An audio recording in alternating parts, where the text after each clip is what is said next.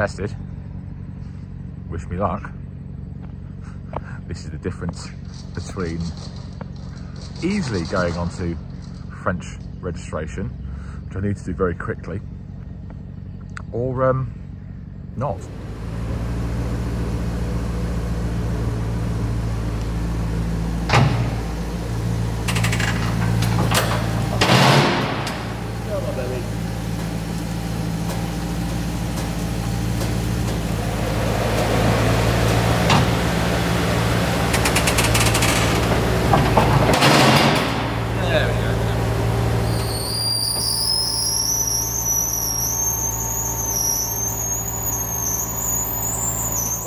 The workshop, everybody.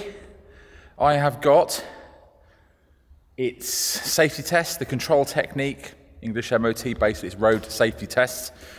And that could go one of two ways. It has had a recent UK one, but it's much stricter in France. So I'm going to hope for that one. And ultimately, I need to give it a oil change and hope that that cures some of the other issues because it does have a still has a slight misfire and that could well be something to do with the oil. So apparently it was Maserati, only oil filter and a local company has said they've got one that isn't Maserati. So let's hope it's the right one. So I have to check that first. This is my first look underneath this car, I might add as well. And I am pleasantly surprised because it's looking good. It's looking good. And now, where's the oil filter? Hello? Hello, oil filter. Let's see if you match the one I've just been given. Oh, this is what I've just been given. Let's um, let's see. Uh, I am not sure. Oh, minor oil leak there.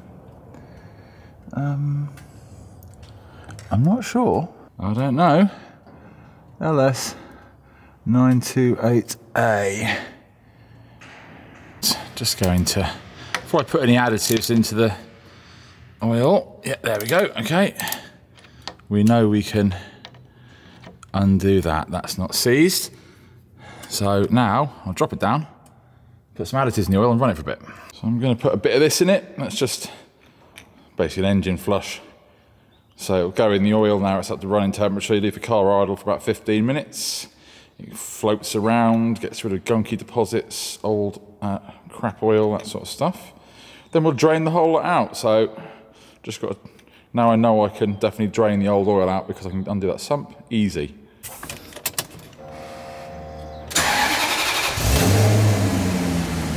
All right. Leave you for 15 minutes. Right. Okay. That's time to, that'll do. Time to take, turn the car off and wheel over. My new tool, I get to use a new tool. My oil drain. Woo! Okay. Up we go. Back up in the air. And time for the oil to drain out.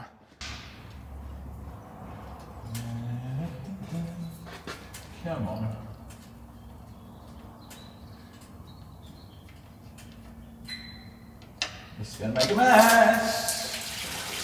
Time to.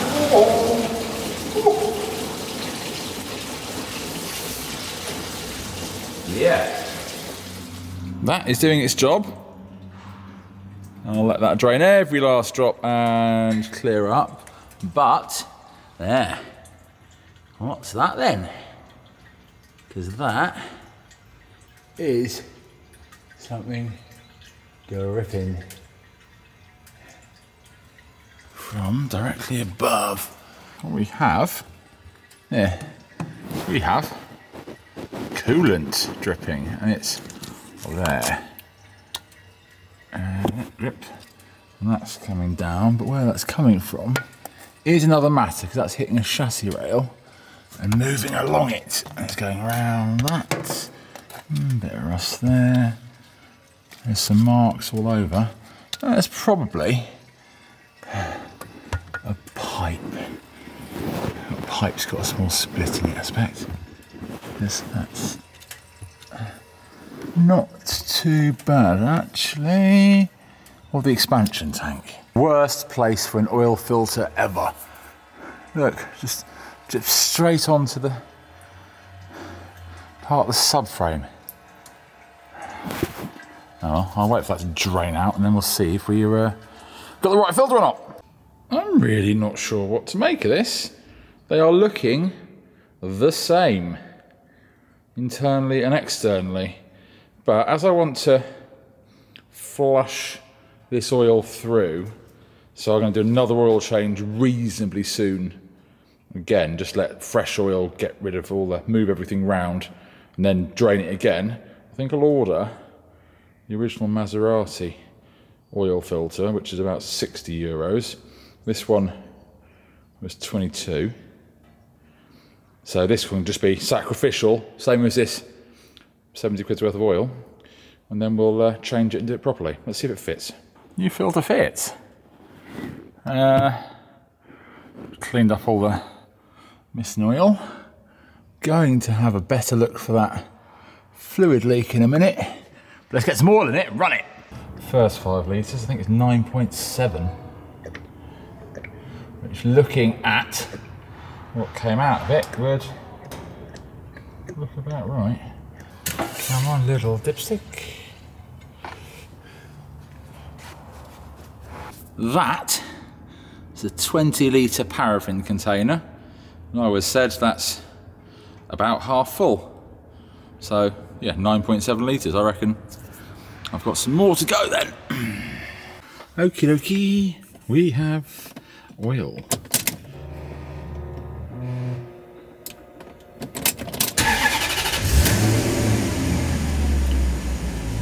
And the oil lights out. We're sounding good.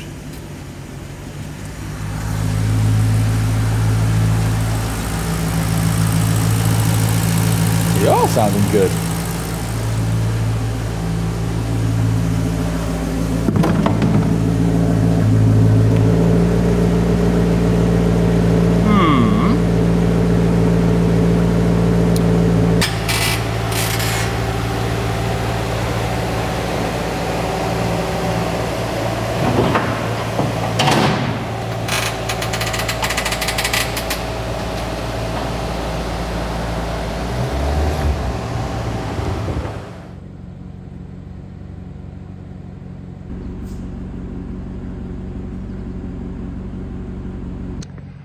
Well, being tested. Wish me luck. This is the difference between easily going onto French registration, which I need to do very quickly, or um, not. At which point, this has all been a silly escapade because the car will be going back to the UK and getting sold again, which will be a little bit disappointing.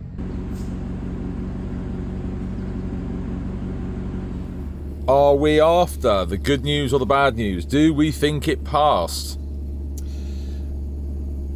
Sort of. So, there are some things in there which I completely um, get. So, first one, what's that uh, frame station? So, parking brake is insufficient. This one's been sat. Um, the headlights are not in the right direction because it's a right-hand drive and left-hand drive country. Um, it has odd tyres in the front. They've got to be the same make and model tyre on each axle. That's fine. Um, uh, so the emissions are out. Um, orientation, uh, what's that? So the tyres one, what did I miss? Orientation, uh, window tint film. Right, and then what have we got is minimal, bit of corrosion on the chassis, that's fine, but I've got a ramp that'll get sorted.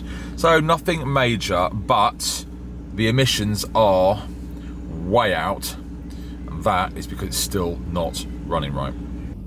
Everything on that is fairly easy, apart from the emissions, because that is related to the way it runs. And ultimately, we need it running properly to pass emissions, but we also need it running properly to BE, a usable car.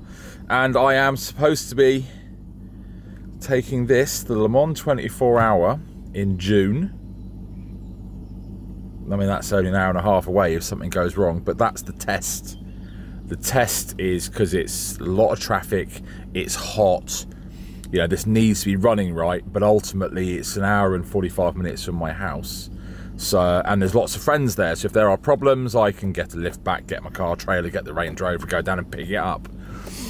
But that's the test. If it can handle all of the heat, the traffic, everything else in June, because after that, it's supposed to be doing a 5,000 kilometre round trip out to the Transfagarasan Highway, one of the best driving roads in the world, in Romania, on a big road trip. So, we're one step closer, but we're not running right. But I'm sure we'll do it. See you next time. Thanks for watching.